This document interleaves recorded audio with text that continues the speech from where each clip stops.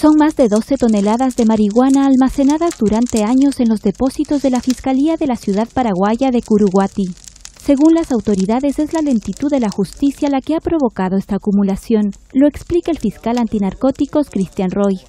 Hay marihuana, eh, evidencias que datan de hace 10 años, entonces eh, algunas inclusive se, se, perdieron las causas, ¿verdad?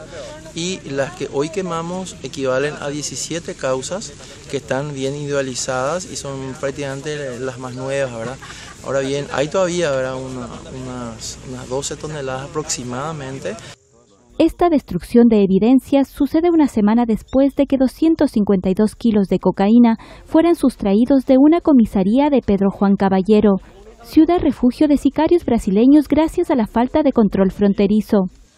Hasta ahora hay tres policías imputados por el robo a los que se les acusa de devolver la droga a un narcotraficante. Paraguay se ha convertido en el mayor productor de marihuana de Sudamérica, desde donde los narcotraficantes envían a Brasil unas 30.000 toneladas al año.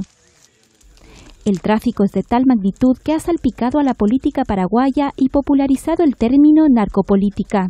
La acepción se generalizó tras el asesinato el pasado octubre del periodista Pablo Medina, que investigaba casos de narcotráfico, por cuyo crimen está imputado un alcalde del gobernante Partido Colorado.